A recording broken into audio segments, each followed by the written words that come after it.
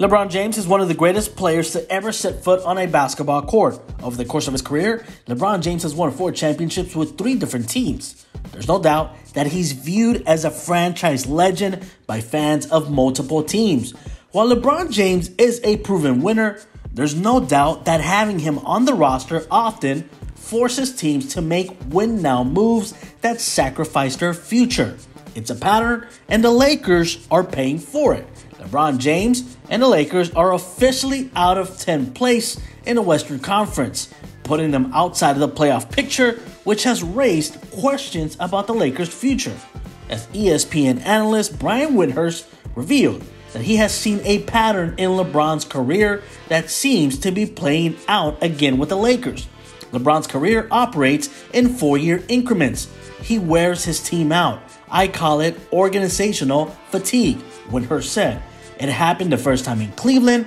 They ran out of draft picks. They had a bunch of guys in their mid 30s, Shaq close to the finish line, and Antoine Jamison. He then goes to Miami. Four years, great run. They ran out of draft picks. In this last game, three guys retired after that game. He goes to Cleveland, four years, great run.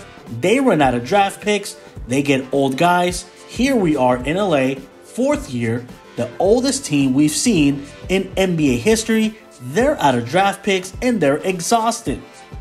There is no doubt that when one has a superstar like LeBron James on the roster, some win now moves have to be made. However, sometimes win now moves don't end up working out for the team long term, and sometimes even short term. For example, the move for Russell Westbrook has clearly not had the desired effect, for example.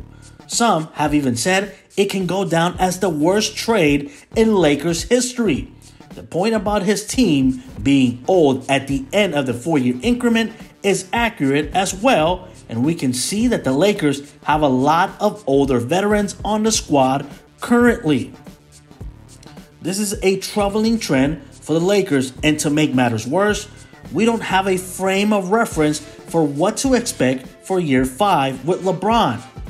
We do know that each of LeBron's past teams have gone into a steep decline after he left. However, it's unclear if LeBron will leave the Lakers after this season.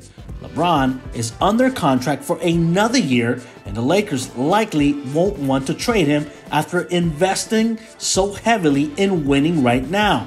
What seems more likely is that they'll use that 2027 pick they refused to trade this season in order to move Russell Westbrook for a player who better fits the team's needs. We also haven't seen a team led by LeBron struggle like this from the start since his early years in the NBA. The Heat made it to the NBA Finals each year with LeBron. The Cavs made it to the finals each year for LeBron's second stint.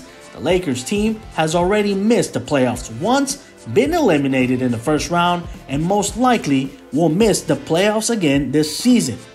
We don't know what the future holds for this Lakers team, but LeBron James's history tells us it might not be anything good.